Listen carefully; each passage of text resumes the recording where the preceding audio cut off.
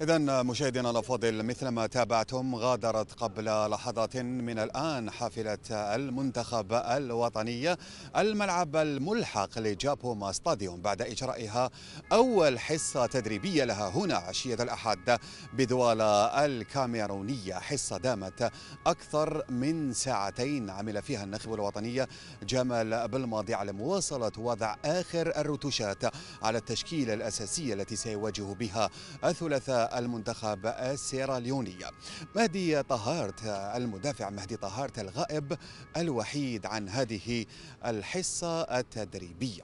هذا وتدرب باقي اللاعبين بطريقة عادية. عيسى موندي ربما كان العنصر الوحيد الذي تدرب على انفراد. إذا النخب الوطني جمال بالماضي وجه تعليمات كثيرة كما جرت عليه العادة لأشباله هنا على أرضية ميدان الملعب الملحق لجابوما ستاديوم علما أن الحصة التدريبية الأخيرة ستجرى غدا على أرضية ميدان الملعب الرئيسية انطلاقا من الساعة الواحدة والنصف زوالا.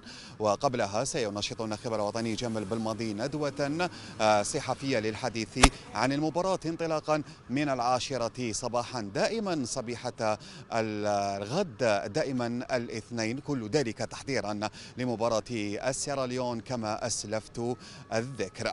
كان معكم رضوان عنان من هنا من ملعب جابهما أستاديوم. تصوير ياسين سلحاني لقناة الهداف.